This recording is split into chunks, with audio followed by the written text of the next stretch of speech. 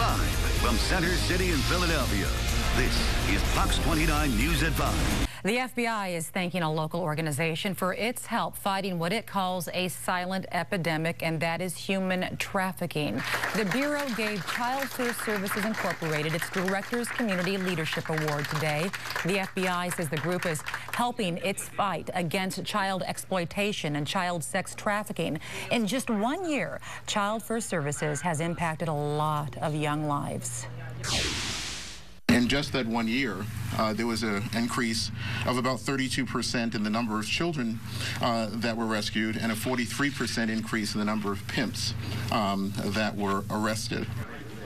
ChildFirst provides safe housing, counseling, and education to child sex trafficking victims.